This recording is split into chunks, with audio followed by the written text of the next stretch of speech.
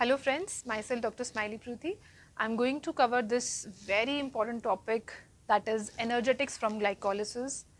Be it any exam in biochemistry you're going for, whether it is some theory exam, whether it is some MCQ exam, this uh, you have to be very thorough with the energetics of all the biochemical pathways. So in this video, I'm going to take energetics of glycolysis. So let's get started. So in glycolysis, we have energy utilizing steps also and energy producing steps also.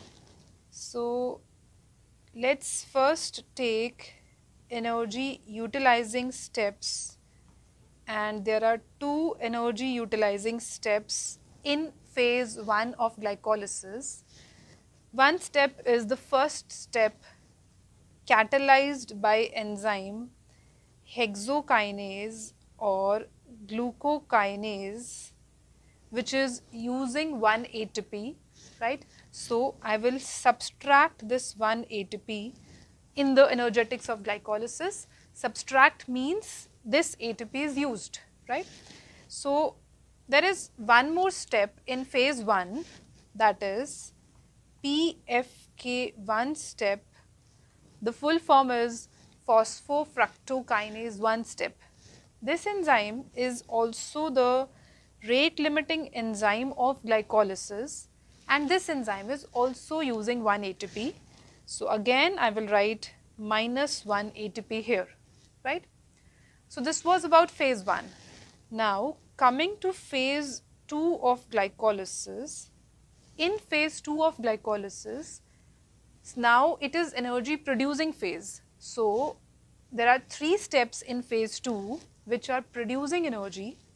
They are one step is glyceraldehyde 3 phosphate dehydrogenase enzyme step which is producing NADH and phase 2 phase 2 starts with two molecules of glyceraldehyde 3 phosphate.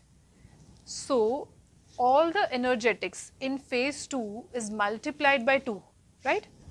So, I will write it is 2 NADH, 2 NADH will go into ETC, 1 NADH gives you 2.5 ATPs. So, 2 NADH will give us 5 ATPs. So, here I will write plus 5 ATPs, right. We have already taken minus 2 ATPs in phase 1, right. So, let us move further. So, this is one of the step of phase 2. Another step of phase 2 where we are getting energy is phosphoglycerate kinase step and this is carrying substrate level phosphorylation short form SLP substrate level phosphorylation step which is producing ATP. So, I will write plus but I told you in phase 2 everything is multiplied by 2. So, I will write plus 2 ATP here right. Then one last step is catalyzed by enzyme pyruvate kinase enzyme and this is also one of the substrate level phosphorylation step of glycolysis. And this step is also producing 2 ATPs right. So, let us do the total counting here now.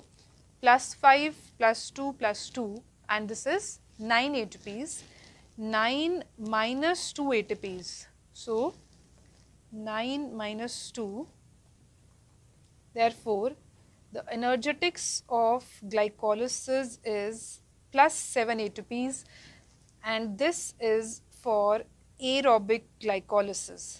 For aerobic glycolysis, we are getting 7 ATPs, right. So, let us also talk about anaerobic glycolysis. So, in short, if I write energetics of glycolysis, then I will write it this way that one molecule of glucose via 10 steps gets converted to 2 molecule of pyruvate in aerobic glycolysis. Here minus 2 ATPs we have done in phase 1 plus 4 ATPs via substrate level phosphorylation we have got and 2 NAD gets converted to 2 NADH in glyceraldehyde 3 phosphate dehydrogenase step. So, these 2 NADH will go into ETC to give 5 ATPs, right. This we have already done, right. But now, in case of anaerobic glycolysis, one extra step, 11th number step occurring, which is 2 pyruvate gets converted to 2 lactate here, right. And here the enzyme is lactate dehydrogenase which converts NADH to NAD, right.